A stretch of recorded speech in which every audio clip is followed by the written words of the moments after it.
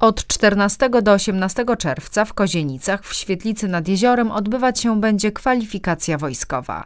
Wezwani zostaną do niej mężczyźni urodzeni w 2002 roku, urodzeni w latach 1997-2001, którzy nie posiadają jeszcze określonej kategorii zdolności do czynnej służby wojskowej, osoby urodzone w latach 2000-2001, które wcześniej ze względu na stan zdrowia zostały uznane przez powiatowe komisje lekarskie za czasowo niezdolne do czynnej Wojennej Służby Wojskowej.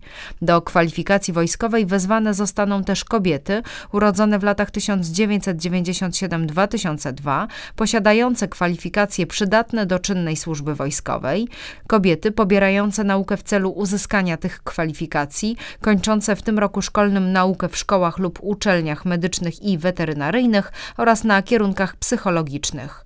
Ponadto kobiety będące studentkami lub absolwentkami szkół lub kierunków medycznych nieposiadające jeszcze określonej kategorii zdolności do czynnej służby wojskowej.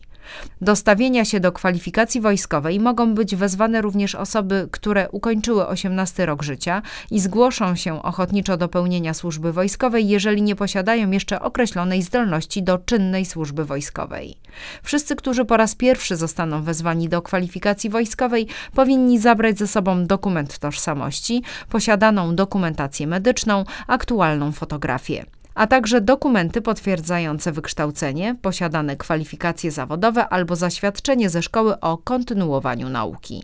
Nieotrzymanie wezwania imiennego nie zwalnia osoby podlegającej kwalifikacji wojskowej od obowiązku stawienia się na nią. Szczegółowe informacje dotyczące kwalifikacji wojskowej znajdą Państwo m.in. na stronie Urzędu Miejskiego www.kozienice.pl.